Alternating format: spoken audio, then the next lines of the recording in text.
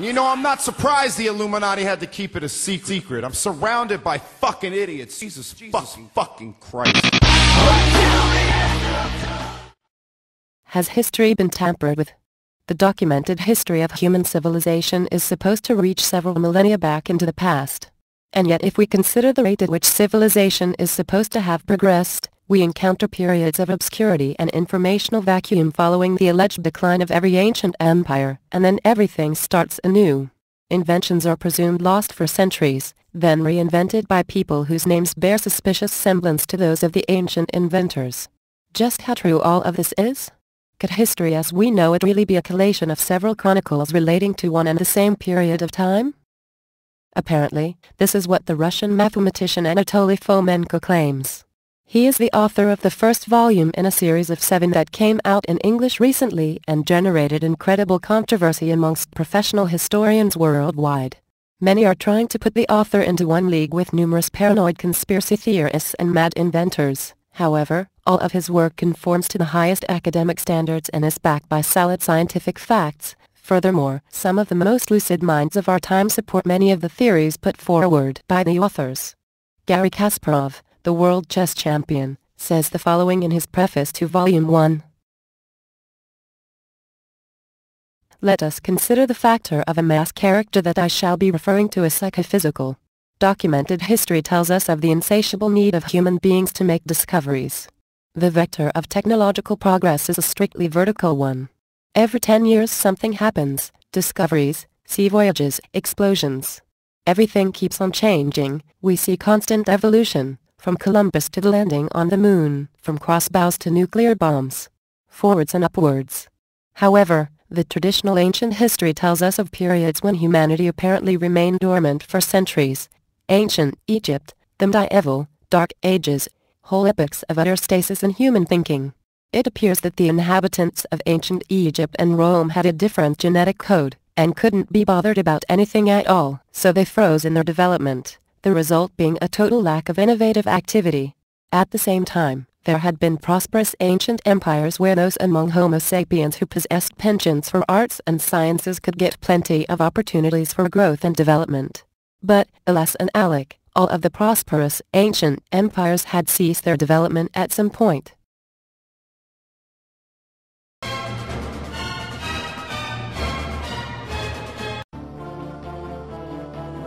This book will change your entire perception of history forever. What if ancient Rome, Greece and Egypt were invented during the Renaissance? What if the Old Testament was a rendition of events in the Middle Ages? What if Jesus Christ was born in 1053 and crucified in 1086 AD? Sounds unbelievable? Not after you've read History, Fiction or Science by Anatoly Fomenko, the leading mathematician of our time.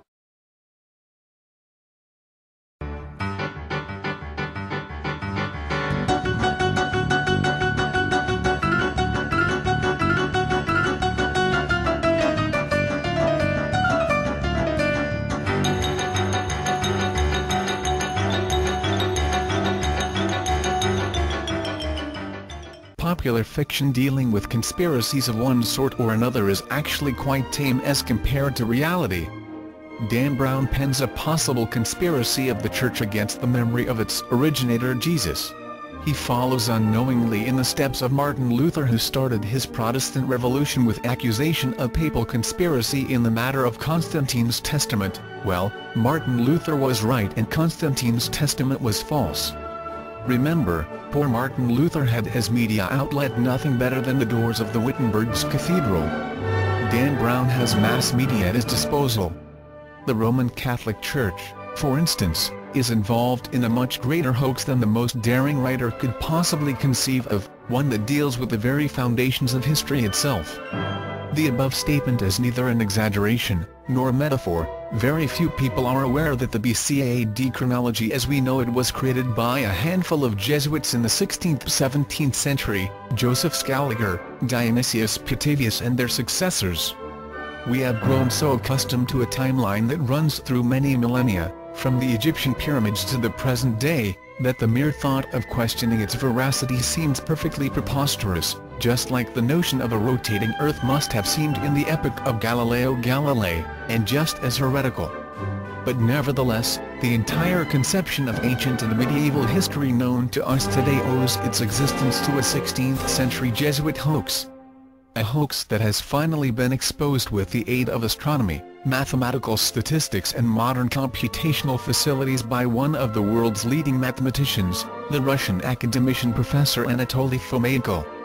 His fundamental work on chronology, history, fiction or science, now available in English, is more fascinating than Dan Brown at his wildest. Yet it is truly a non-fiction work, that goes to say, everything else you have read about history should probably classify as fiction.